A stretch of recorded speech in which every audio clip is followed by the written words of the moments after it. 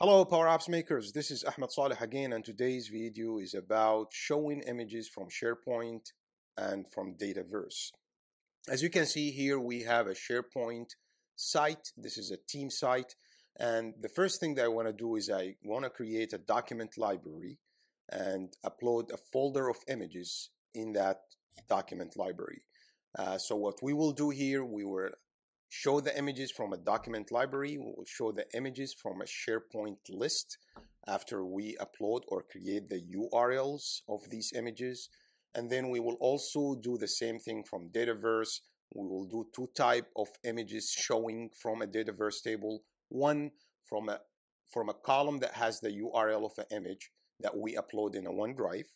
And the second one from an image that is being added to a column of a, a file type kind of attachment. So we attach the image and include it into that column. So let's hop in. So the first thing, as I said, we're going to go ahead and create a document library. We're going to call this images and we're going to go ahead and create. Now what I will do next is to upload these images and I have already a file or a folder as you can see here has multiple images. So I'm going to go ahead and select one of them, control A to select everything and then I will go ahead and open. And it's uploading all these images. While these images are uploaded so I'm gonna go ahead actually to the Power, Power Apps and I will go to apps and I will go ahead and create new app. In this case I will just go ahead and start from blank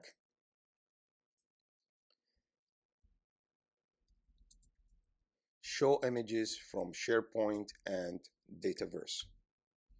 And it's going to be tablet, and I'll go ahead and create the Power App Canvas app. Once I'm done, I have the images here all actually being uploaded to the document library. I'm going to go to my Power App here. I will click Insert. I will look for Gallery. I will just enter blank vertical gallery to add the SharePoint library. So I'm going to go to the data, add data, search for SharePoint. I will select SharePoint using my account. This is the team site that I have. And as you can see here, the document library, and you can see here, it's actually, what we have here is actually different kind of icon or logo for the library or document library. I will click connect now here for in my gallery, I will go ahead and change the data source to my images. And the first thing I will add is adding an image control.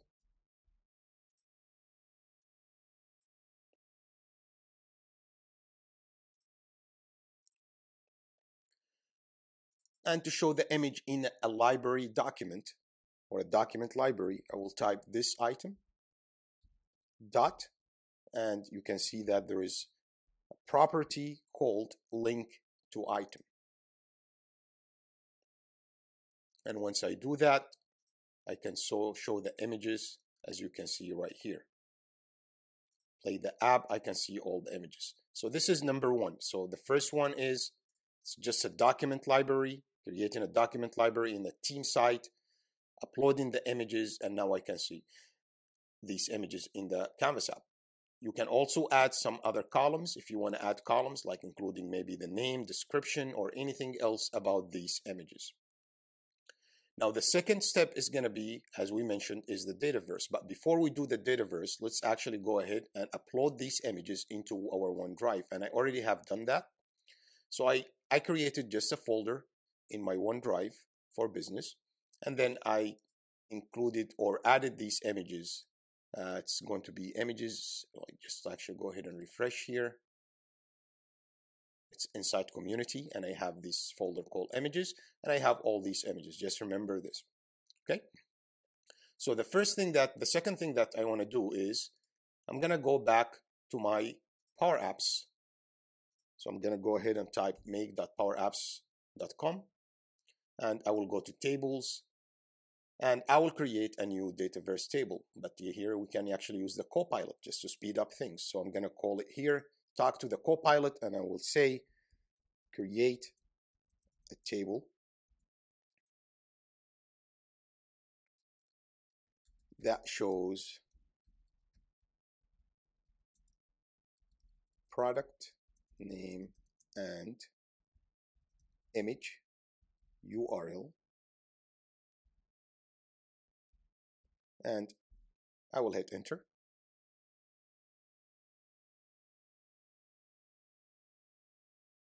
That's perfect. So this is with the sample data, as you can see. We have the name of a product, and then you have an image URL. This is a URL that we can replace from the OneDrive URL of my images right here.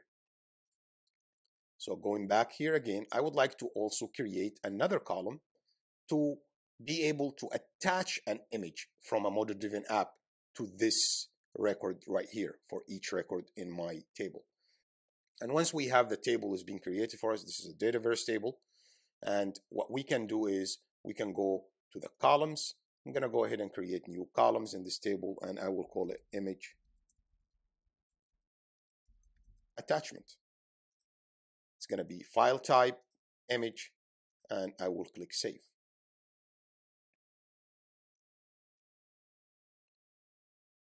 Quickly then I will go back to my table here, I'll go to the forms, and then I will go and just uh, give it a second for the forms actually to populate for this table.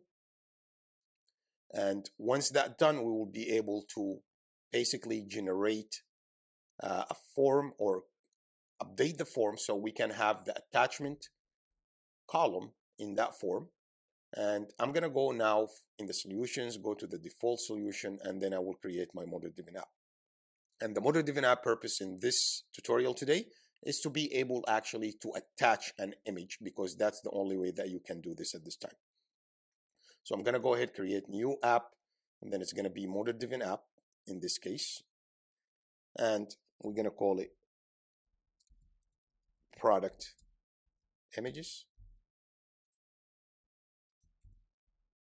Create.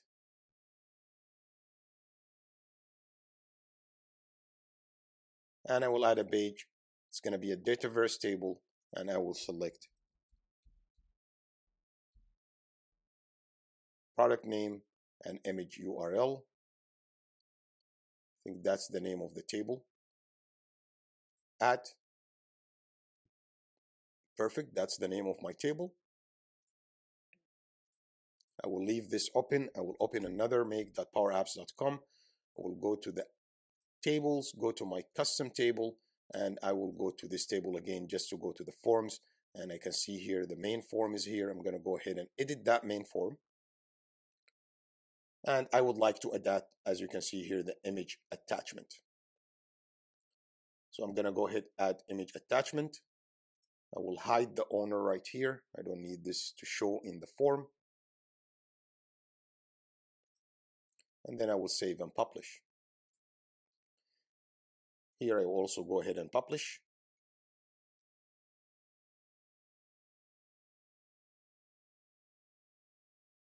Perfect. And then I'm going to go ahead and play the app and let's actually attach one image at this time. So I'm going to create a new record. still actually not publishing. So go ahead and just refresh, check it out. Error again here. So I think because I was publishing there at the same time. So I'm going to give saving and publishing again and just give it a second.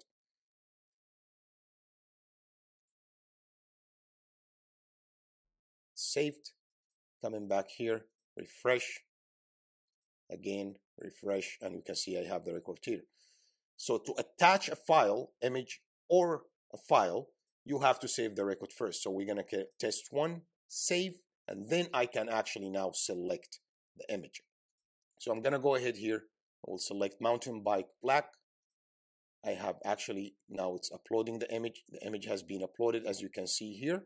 And I'm gonna go ahead and save. Now what I wanna, I wanna show this in a gallery in a Canvas app. I'm gonna go back to my Canvas app again.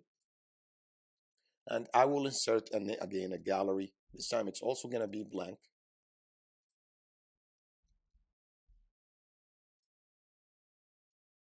Right here. And then I will add data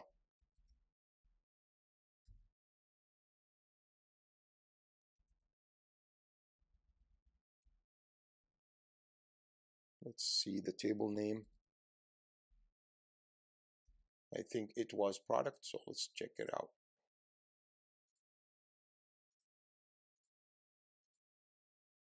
Go back. That's the table name.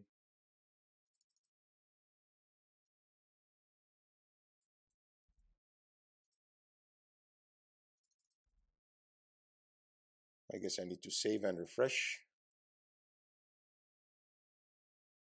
Saving. Try again.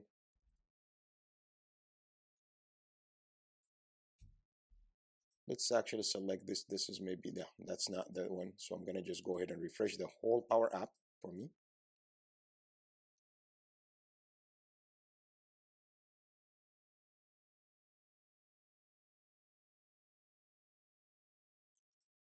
override.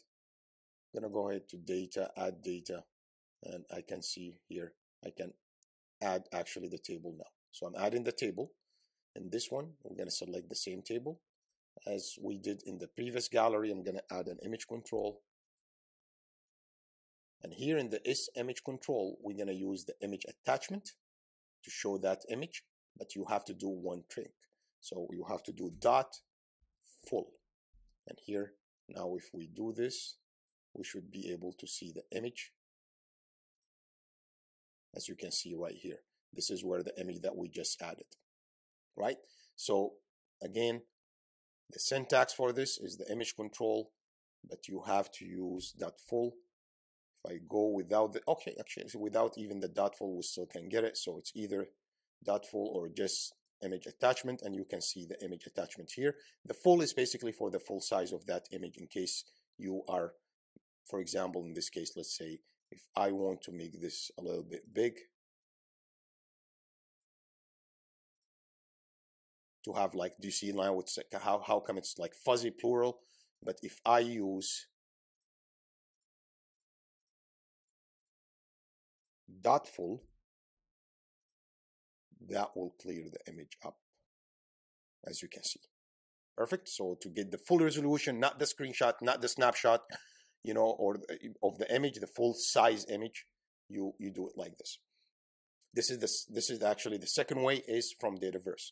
Now what we have else is to create a sharepoint list. So i'm to go to my site. And then site content i will create a new list. And this is to be a blank list. We're to call it just again images. List. Create and one column we're going to add is a text column and I will call it image URL perfect and now again remember we said going back to the OneDrive, we have the images here. To get the URL of the image, you click on these three ellipses here, preview, and this is not the URL. What you need to get to click here in these ellipses, three dots next to download, view original, and this is the URL that you need to get. So I'm going to copy this URL, go to my SharePoint, and here I'm going to go ahead and create a new. So it's going to be title. I will leave it as it is. Save. And as you can see here, now we have the image URL, right? That's the image URL that we got from there. Again, going back to our Power App, add data, SharePoint. Oops, selected the wrong one. Leave it for now. I'm going to go SharePoint again. SharePoint connector using my credentials, select my team, and then I will go to my list as you can see, this is my list. And this is the difference between document library and image list. That's the icon, how you know the difference. So I'm going to select the list, connect. And let's actually add another screen. So I'm going to go ahead and add a screen, add a gallery, also blank. And then I will select this image list. So I'm going to select this one, add an image, control, and this one is going to be this item dot image URL as you can see right here. Perfect. Now the same thing that we can do obviously from Dataverse. So I'm going to go back to my Dataverse. This is my app. I have the image URL here. So I actually can just paste the same one. So I'm going to same URL. I just paste it right here. Now I have a URL. I'm going to go ahead and save. Going back to the Power App, give it a refresh for this table in Dataverse. And now we can go to the first screen where we have this gallery here, right? So what we're gonna do is, I'm gonna go ahead and edit this. Let's just add another image control to show now the image as a URL.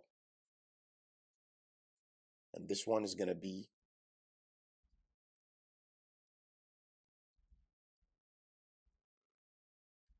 what is the column name?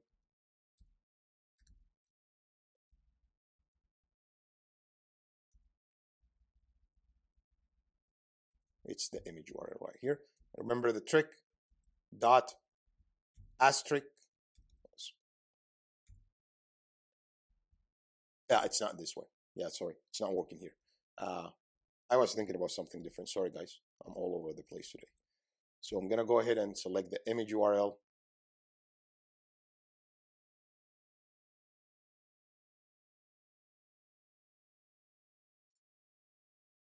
Perfect. Now if I play, as you can see, this is the image where we have the image is coming from the OneDrive. So again, just to wrap up, we have done three things. So from SharePoint, you can actually show images in a SharePoint list by having the URL in one of the columns. Again, the images can be uploaded either in a document library or in a SharePoint folder, and then you just grab the URL.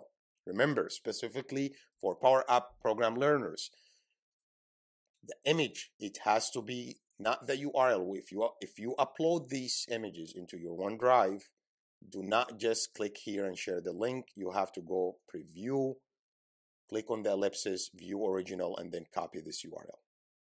Right? So that's that's number one from the SharePoint.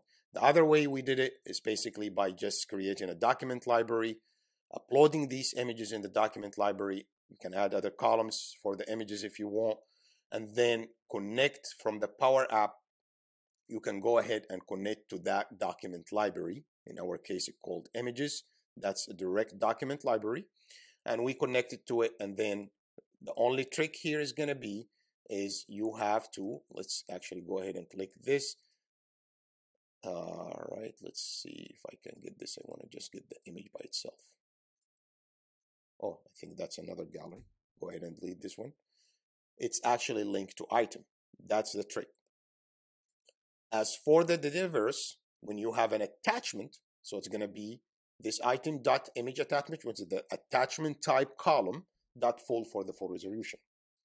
For the URL, it's going to be obviously the similar to the SharePoint. So if you have a column in Dataverse that has an image URL, then you will just say dot image URL and you can show it right here. Hope that you enjoyed this video.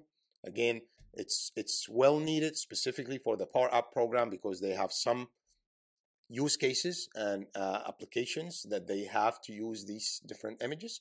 So I thought just to cover most of these use cases and how to do them uh, to, to be helpful for, for those learners and anyone else can benefit from it. I will see you in the next video.